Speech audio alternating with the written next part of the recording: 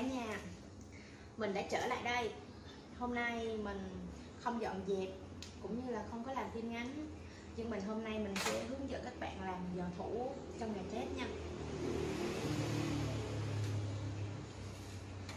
Trong ngày Tết thì nhà nào cũng cần Trong nhà lúc nào cũng cần có một cái gọi là ta truyền thống Việt Nam lúc nào cũng có giò lụa nè, giò thủ nè, bánh trưng nè.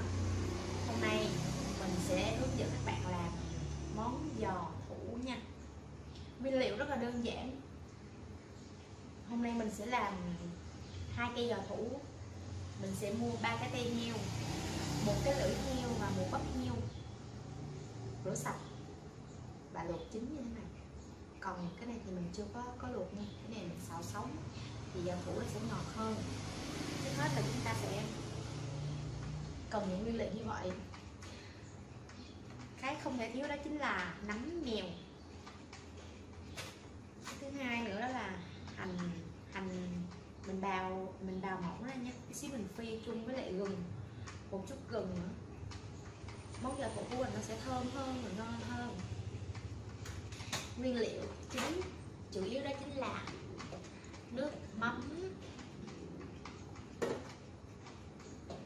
tiêu tiêu mình đã rang lên rồi thơm và cay còn đây là tiêu xay mình rang lên rồi và mình đã, đã giả ra nha. Bạn ăn cay được nhiều á, thì các bạn bỏ nhiều. Còn đây là bột ngọt cà no và đường. Bây giờ trước hết á, là mình sẽ cắt mọc nhĩ trước nha.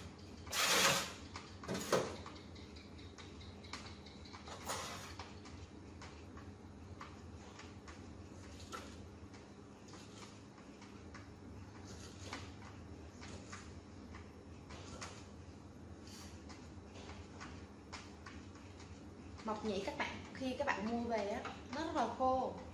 Nhưng mà mình đã ngâm qua nước ấm và nước sôi, thì nó sẽ nở ra như thế này. Sau khi nở, các bạn sẽ rửa qua bằng muối, để cho cái mộc nhĩ của mình nó sạch sạch hơn nha các bạn. Các bạn để xong các bạn sắc như thế này, mình sợi như thế này.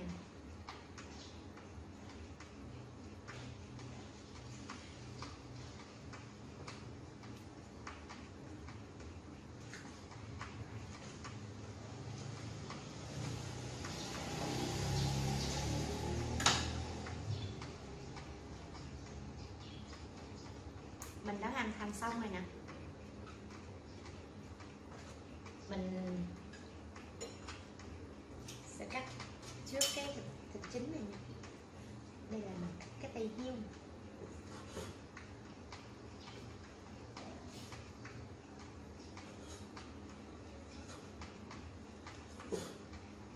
Cái heo khi bạn luộc á.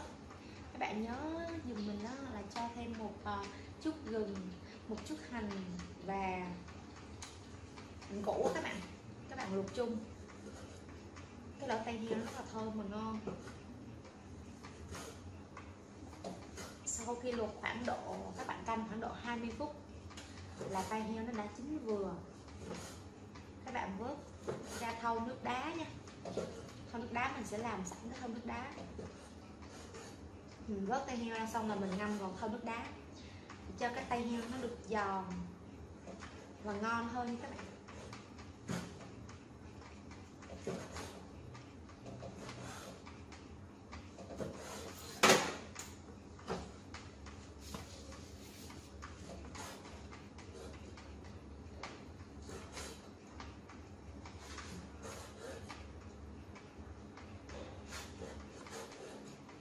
Sau khi mình chuẩn bị cái nguyên liệu này xong mình sẽ đem đi mình xào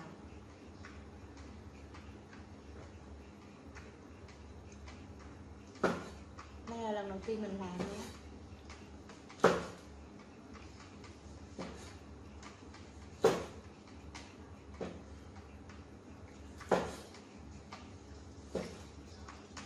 đây các bạn thấy thái miếng cỡ vừa như vậy thôi, không có được dày, không được mỏng. Bởi khi mà mỏng quá thì mình xào lên thịt heo sẽ bị khô, cái giò mình sẽ không được ngon. Mà mình thái dày quá thì nó sẽ lau chỉ nhựa.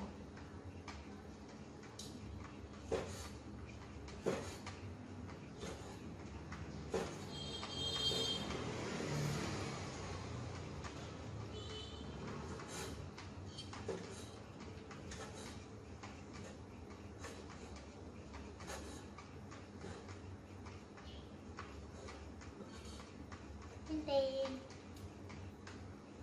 Rồi mình sẽ chuyển sang sống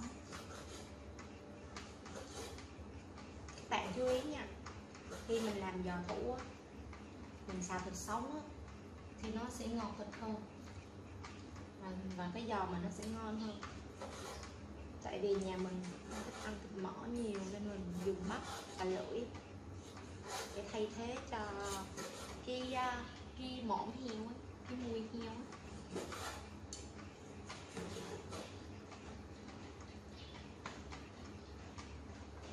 Rất là ngon luôn.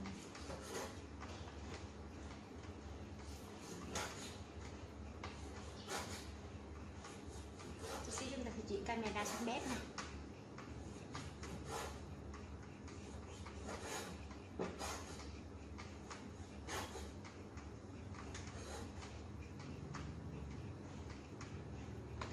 hôm nay mình tự quay nên mình sẽ để camera chết hôm nay mình không có được sự trợ giúp của của bạn nào cả.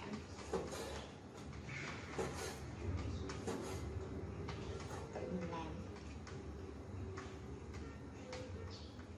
Sau khi chúng ta đã cắt xong hết rồi. Giờ đến cái phần ướp nha.